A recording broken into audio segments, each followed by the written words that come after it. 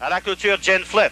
Une minute deux cinquièmes à la demi. One minute and two fifths. At the half mile pole, it's Ambro Blush. Deuxième, second half trail, Jody's Plum. Troisième, third, uh, Gin Flip. Quatrième, fourth, outside, à l'extérieur and gaining ground, that is now Super Imp. Cinquième, fifth, Gears. Sixième, sixth, Fresh Dolea. Septième, seventh, Neville Bell. Huitième, eight, outside, Novell. Neuvième, ninth, Excella Hanover.